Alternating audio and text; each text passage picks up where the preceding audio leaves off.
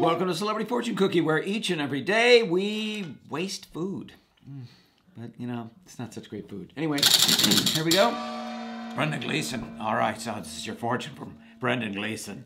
And I hope you enjoy it. I hope it's fortuitous and leads to a better life, or at least a nicer afternoon for you. It says here, uh, you don't have to be perfect to fulfill your dream well, that's this is sort of a you know a side note to whatever your dream is, to whatever the fortune is. I mean, it's just a little too ancillary for my uh, for my wishes.